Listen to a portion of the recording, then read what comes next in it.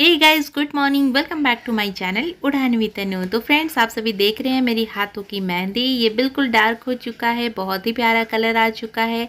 और आज इसे लगाए हुए दो दिन शायद हो चुका है कंप्लीट उसके बाद भी मेरी हाथों की मेहंदी नहीं छूटी है।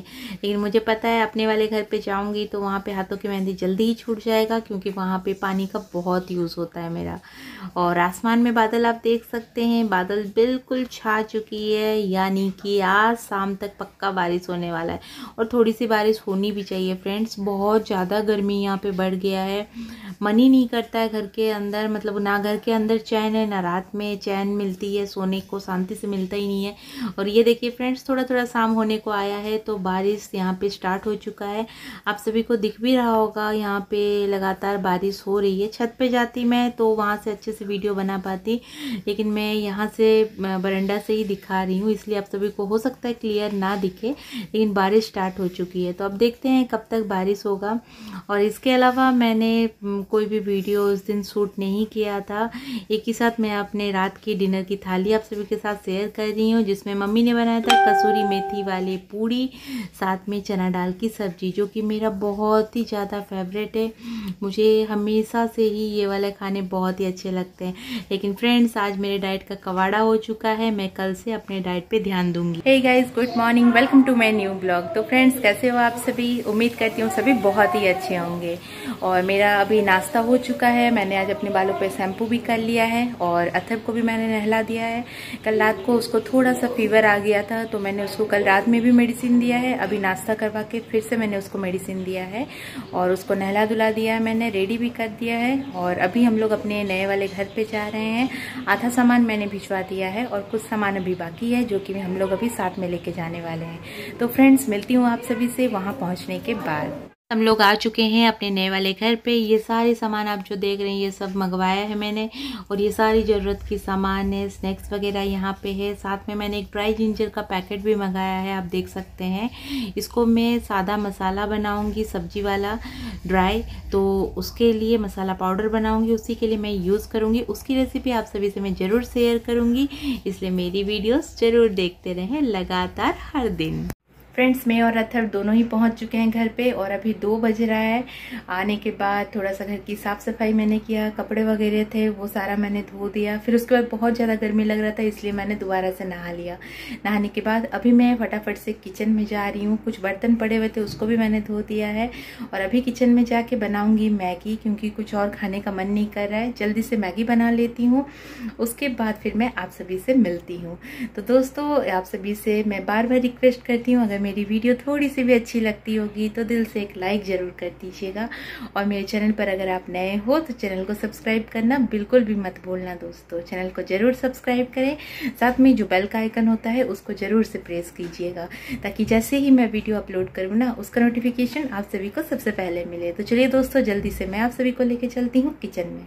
फ्रेंड्स अभी मैं किचन में आ चुकी हूँ। अथर्व के लिए मैगी बना रही हूँ। ये बहुत ही सिंपल मैगी है।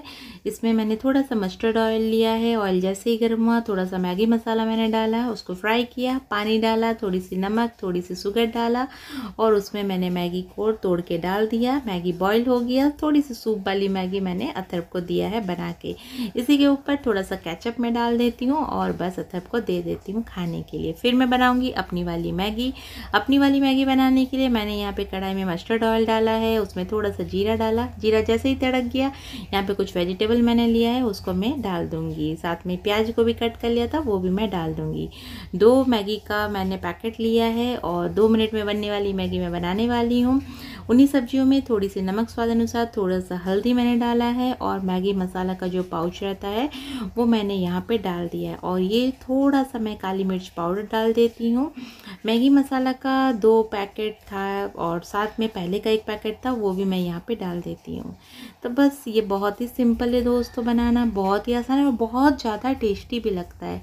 बस इसको मैंने अच्छे से डाला, अच्छे से धीमी आँच में फ्राई किया, थोड़ा सा पानी मैंने ऐड किया था।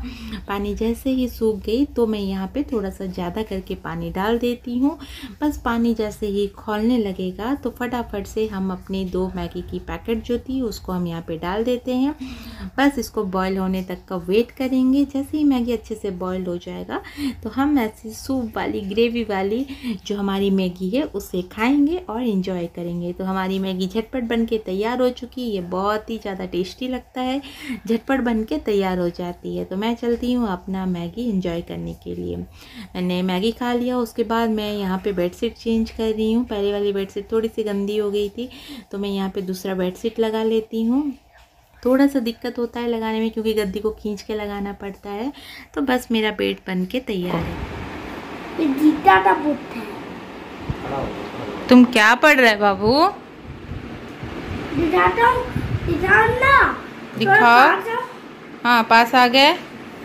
दिखाओ। अरे वाह तुम तो गीता पढ़ रहा है। गीता। गीता ऐसे लिखा है।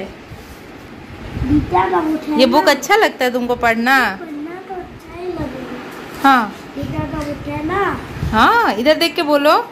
गीता का बुक हम्म और पूछो आप में से कौन कौन पढ़ते हैं गीता का बुक हम में से तो अंडम पढ़ते हैं गीता का। तुम पढ़ते हो? जो लोग गीता का बुक पढ़ते हैं वो गीता का वो अपने हाथ उठाएँगे।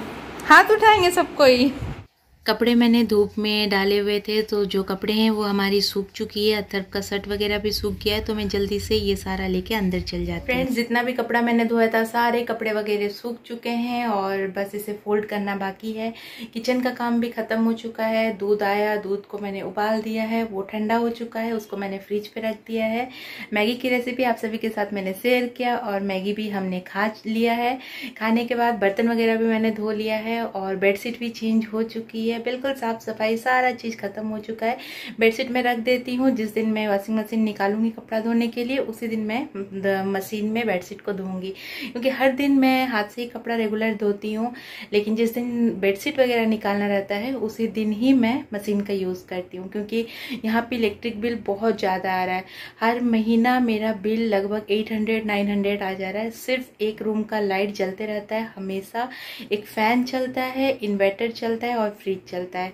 इतना में ही मेरा हर महीने का बिल 900 हो जाता है और मशीन जो है वो शायद मुझे जहाँ तक याद है, मैं महीना में चार या पाँच बार से ज़्यादा मैं नहीं निकालती हूँ। तो समझ में नहीं आता इतना ज़्यादा क्यों बिल आ रहा है। तो इसी के लिए मैं सोचती हूँ थोड़ा सा बिजली का बचत करूँ, जिससे कि थोड़ा सा मेरा इलेक्ट्रिक बिल जो है वो कम आए।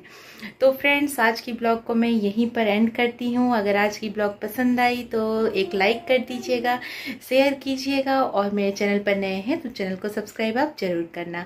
जल्दी मिलती हूँ दोस्तों नए ब्लॉग के साथ, नई रेसिपी के साथ। तब तक अपना खूब सारा ख्याल रखें, ढेर सारी प्यार और खुशियाँ लोगों में बांटते रहें। Bye bye